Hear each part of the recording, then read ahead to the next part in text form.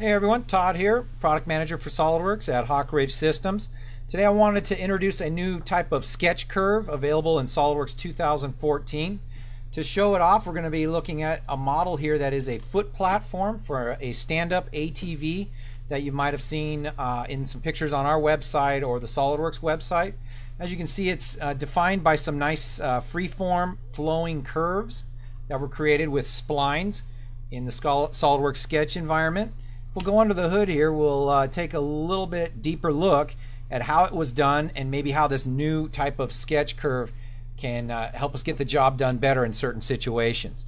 Okay, so this one we're spanning uh, this point to this point with a five point spline.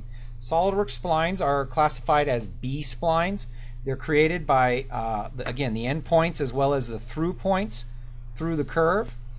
At each of these through points, there are tangency weighting uh, and vector handles for additional control. We can even turn on the control polygon. And what that allows us to do is select these points where the polygon is connected. They're called control vertices. And that allows us to shape the curve also. However, these are not constrainable in any type of fashion. It's completely subjective. But again, it does add quite a bit of control. Now, uh, getting into that where it's too much control, we can see here where that is the case and things can get a little awkward. If we look at the curvature here, I'm trying for a nice, smooth, continuous flowing span across these two supports here. And it looked good at first, but again, you can kind of see where these uh, control points are. Uh, I start to get some inflections where the curvature kind of changes directions a couple places and things don't look good. Again, it looked good at, at a glance, but that's going to reflect light in a way where you're going to see wrinkles or inflections on the surface. It doesn't look good. Uh, it might even be, you know, you can sense it if uh, it's like a, an interface to your hand or foot. You might notice it there. So it's not good for product design. It's not a good fit. So again, I could spend another couple hours maybe fine tuning these handles to smooth it out as best as possible. But instead, I would recommend using this new type of spline. It's called the Style Spline in SOLIDWORKS 2014. It's completely different. It is sketched with the control vertices only, and those are the only way to control it as well. So it's a much simpler type of spline. I'm just going to start it. I'm going to leave the old one there for comparison's sake.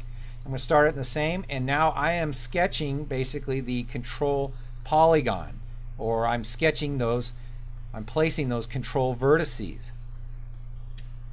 Okay, and you can see to make it nice and easy to constrain, SolidWorks connects these control vertices with lines.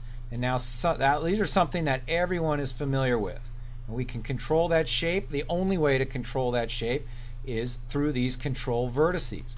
But again, it's points and lines. Everyone knows that. It also lends itself very well to uh, for constraining uh, again with uh, simple relations, uh, even dimensions. It, uh, that'll also make them configurable. Or maybe we could drive them with a equation also to help shape the curve. This will, it opens up some nice new options that weren't available previously, as well as um, symmetry and mirroring, things like that, because we can control completely constrain these lines in a very simple way that it makes it very easy to con constrain. You'll see I'm just applying very basic, very simple constraints to these lines and points.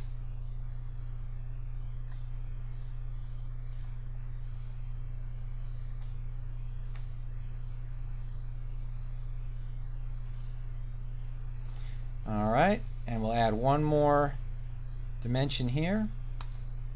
And you can see now the entire hull, it's called, or control polygon, as well as the spline, has, is completely constrained now. Okay, so again, very easy while keeping the math of the underlying curve very simple also. It's a single span Bezier curve, point A to point B, with me controlling the vertices and the control polygons uh, throughout the curve. So again, that's where the major difference is. And I would say this is the perfect uh, situation to use this type of spline. Again, keep in mind it's not going to replace anything. It's not meant to replace anything. It's just yet another tool in our arsenal to create these type of free-flowing shapes.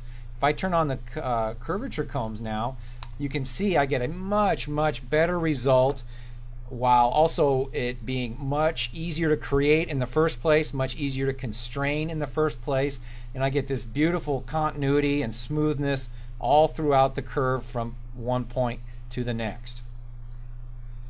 And now I'll use real quickly the replace entity here and we'll swap out the old curve for the new one and rebuild the model. Okay, so there it is. It looks really nice. That's an improvement there. So again, not meant to replace anything. It's just another tool. Know when to use it. And again, bridging or looking for a bridge curve. This is a perfect time to use the new style spline in SOLIDWORKS 2014.